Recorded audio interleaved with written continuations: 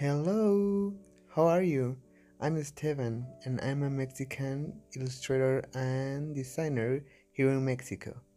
I made this second channel for you to understand what I'm saying if you don't speak Spanish. And this time we are having a haul of some things that I bought in Toronto in Canada. The first one is this black Blackwing Palomino that's a brand of pencils and i think they do sketches too. So they are expensive and they are kind of aesthetics.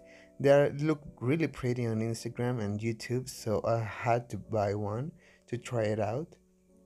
And i mean it, it is good. It is a pencil so they they have um, a black one and a gray one and I think colored pen- pencils. And I don't think it's worth it, but as a luxury or as a nice nice thing to have uh, for your Instagram photos, it's okay. But the really thing that I'm really excited about is this Series 7 Winsor & Newton brush. I was dying for having a, a Series Series Series 7 brush of Winsor & Newton. They are really expensive, but I think they are really worth it. So I bought one and I'm really pleased. All this stuff that I bought, I already use and I'm going to to film some reviews for you to see, but I wanted to use them to to really know how to use them and to see if they are really good and if they are worth the the spend. The this brush is really really nice. The quality is really it feels expensive. The lacquer of the the wood feels really really nice. And the hairs they are na- natural from uh, how animal. In Spanish is Marta. Um, oh, I don't remember the name, but it is the fineness of these animals that are there. Well, I mean that's what they say, but I really like them. So this the third thing that I bought in Toronto was this watercolor set. The Qor that is different from any other brand because they use Aquazol or something called like that. And it is different because almost every brand of watercolor uses uh, arabic gum but this one doesn't. So i would really wanted to try it. I will make a separate video about them to review it in a more extensive way but here you can see that one thing that I really didn't like about these paints is that they they come in tube and I, I like tubes because they are cheaper and they have more paint in them than pans but this palette that is just like a metal box doesn't have pens to hold my paint to dry and it's really annoying to have to pour it in into these tiny holes that has the the metal box. So it is good. It is not the greatest box, but the paints are good. I'm going to, as I said, I'm going to be doing a review to to see light fast and how it spreads in in the paper.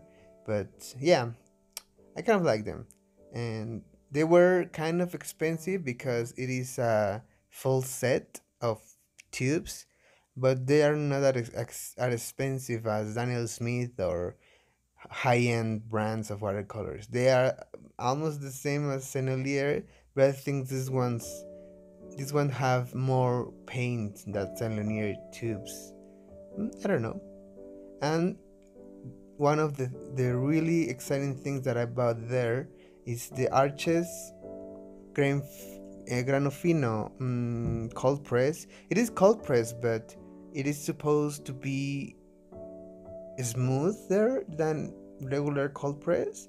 I can't imagine how cold press, like real cold press for them, is like really really rough because this one, it is it is really rough. It is good. It is a really nice paper. It feels good and the construction of the pad feels really expensive and luxurious but i was confused because i was expect- expecting a, a really soft and smooth surface. So it was really weird to see that it doesn't have that. I mean it is really good too. I will make a review about it about it. I in the in the past I haven't tried this specific one. I have tried arches, but just in the in in full sheets.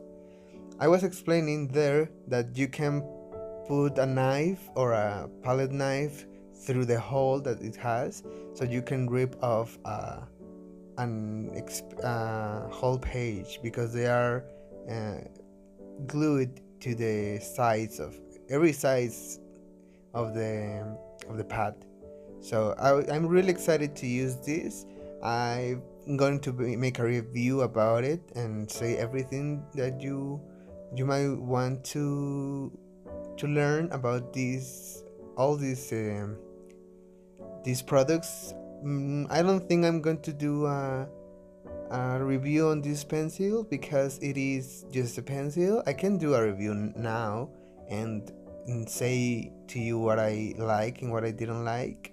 it, it is an ex an different experience of a pencil because it is really soft, it is really dark, and it doesn't have that much, of, a, of a shine because usually graphite tends to to polish the surface of the paper and have a, a little bit of shine that that that doesn't allow it to be as dark as possible. So it is really nice because of that and it feels really buttery.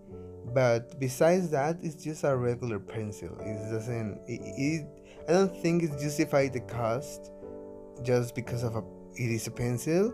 But if you want something like to take take pictures of your art and to really be really Tumblr and aesthetics and to, to upload your photos to Instagram it is really nice. I compare it here to an aquarelle pencil that is not as nearly as dark and a Mirado número dos from uh, it's a really popular pencil here in Mexico and it's really good because it's almost as dark but it's not as soft as the Palomino Blackwing. So it's up to you to decide which one of if you want to buy the Palomino Blackwing just for your, your photos and to use it, you can use it as well, of course. But that's that's that on that. Thank you for watching my channel and this video. Sorry for my accent.